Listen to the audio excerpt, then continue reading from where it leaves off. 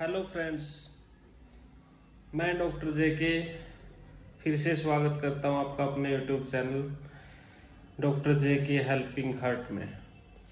आज हम फिर बात करेंगे नी ज्वाइंट लिगामेंट के बारे में। इसके बारे में मैंने आपको बता दिया था कि नी ज्वाइंट के अंदर कितने लिगामेंट होते हैं। वो पहली वीडियो में मैंने आपको बता दिया था।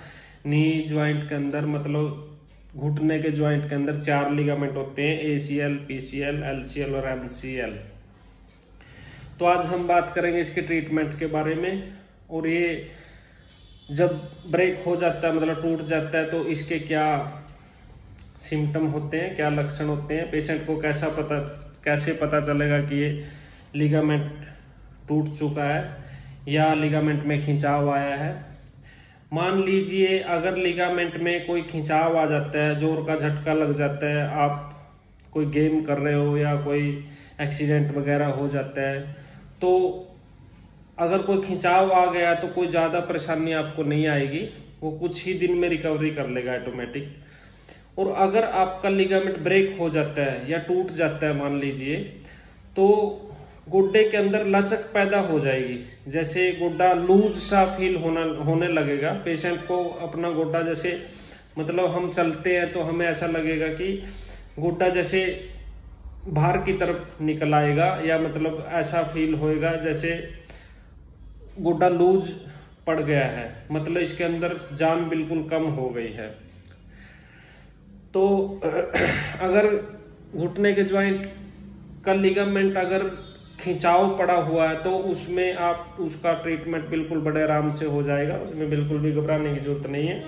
तो आप ऑर्थो के डॉक्टर के पास जाओगे, हड्डियों वाले डॉक्टर के पास एक्सरे वगैरह करवा के तो उसमें वो या तो कोई क्रेप बैंडेज वगैरह बाँध देगा आपको, या कोई नी कैप वगैरह उसके ऊपर चढ़ाने के लिए आपको दे देगा, और कुछ मेडिसिन आपको दे देगा तो आप बड़े आराम से ठीक हो जाओगे।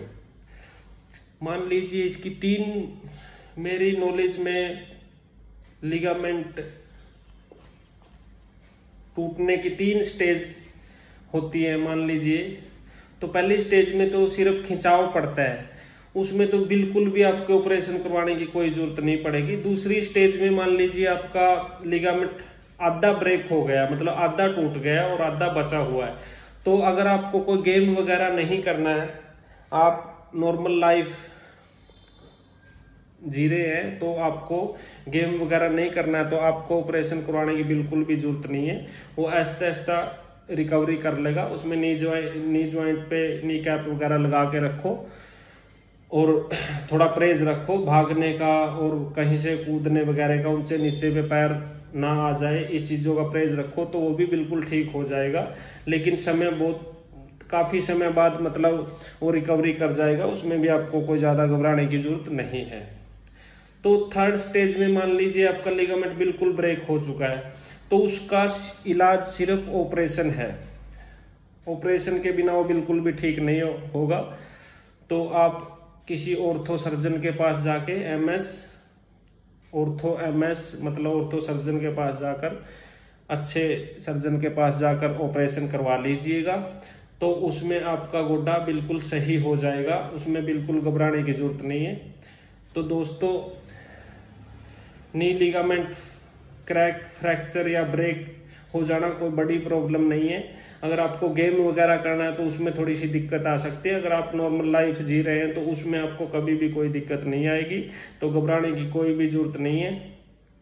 आप इसका इलाज बड़े आराम से करवा सकते हैं।